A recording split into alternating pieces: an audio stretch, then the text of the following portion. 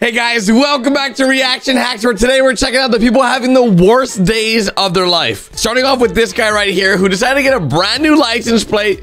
And yeah, his license plate reads 8 dicks 24 7. it's sad but true.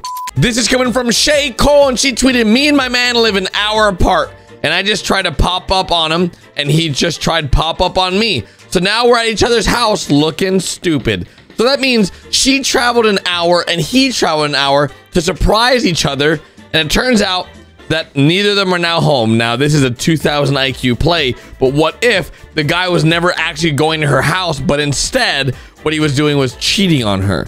And he let her know that he was also at her house, and that's why there's a little bit of confusion. It's possible, might be a thing. You never know. Facebook reminders are sometimes the worst thing possible, except for like when I go live on Facebook at fb.gg slash jobless Garrett, Facebook gaming. That's where I stream jobless Garrett. Look, look it up. I stream there every day. Anyways, this guy got a notification, which by the way, his name's Gary. My name's sort of like also Gary. Anyways, zero friends wished you a happy birthday.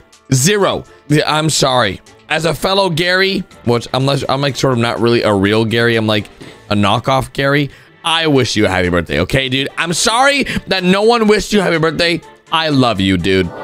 America's a little crazy, and a little crazy sort of an understatement lately, but as you guys can see from this picture, someone legit stole this guy's porch. Yeah, someone went out of their way while he was sleeping and stole this guy's porch. That is absolutely mind-blowing that somebody went out of their way and stole a porch. Why? I have no idea. This guy was on his laptop in his bedroom, and next thing you know, a bird flew in, pooped on his laptop, as you can see from the top left corner, and then died. I don't know if this was like his ex-girlfriend sending him a message, but um, clearly a sign that somebody hates you, dude. If a bird flies into your house, poops on you, then dies in front of you, that has to be a sign for something, right? That, that, just doesn't, that just doesn't normally happen. This is a Star Wars disappointment post. Your Sith name is your first name spelled backwards. So you put Darth in front of it. So my name would be Darth Tareg. That's pretty cool. But this guy didn't have that good of luck. This guy's name backwards, Suna, is backwards anus. Darth Anus. wow, that's awkward. Let me know what your Star Wars name is down in the comment section. I hope it's not as bad as this guy. I'm not exactly sure what's happening here, but apparently this is what hail does to a moonroof in a car. Which, by the way, I feel like this would be very scary to happen. Why does this happen to this car? Could that happen to all cars? Oh, shoot. Looks pretty cool, though. I'm not gonna lie. I sort of like it.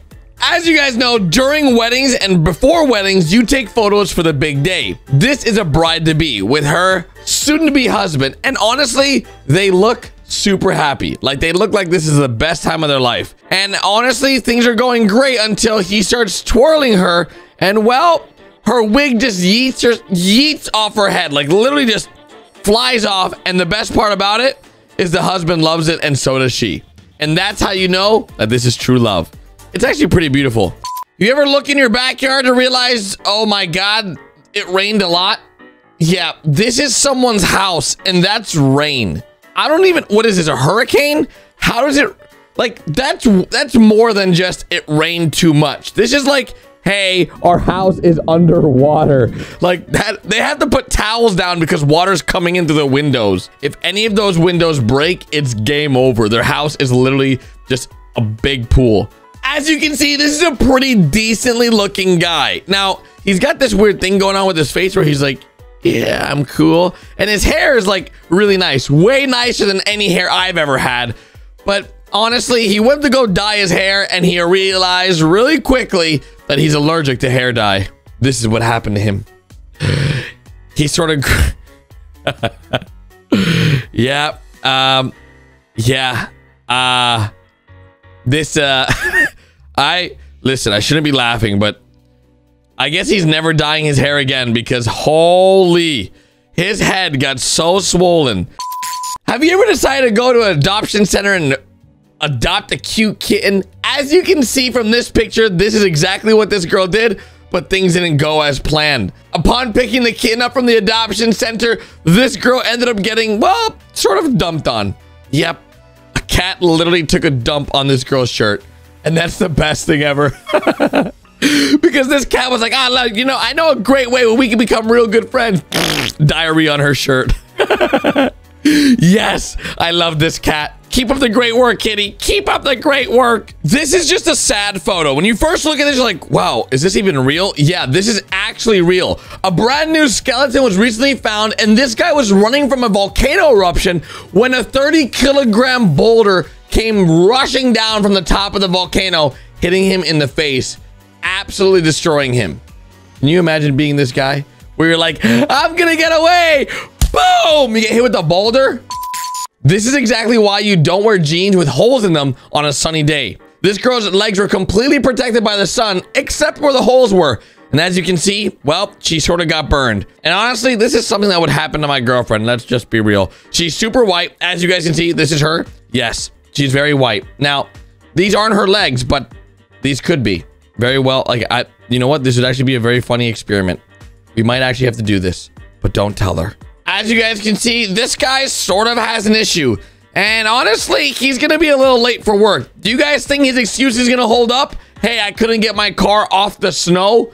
No, literally, his car is just stuck on snow. Like, he can't move his car from this iceberg, whatever this is. I'm a little confused, to be honest, but it's pretty great. One thing I don't recommend you doing is getting on a motorcycle without a face mask. Because as you guys can see from this guy's face, he has about a thousand bugs on his face, which is absolutely disgusting. Not only is it disgusting, but it probably really, really hurt.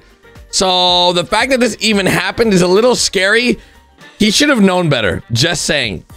It can't be his first time ever riding a motorcycle, right?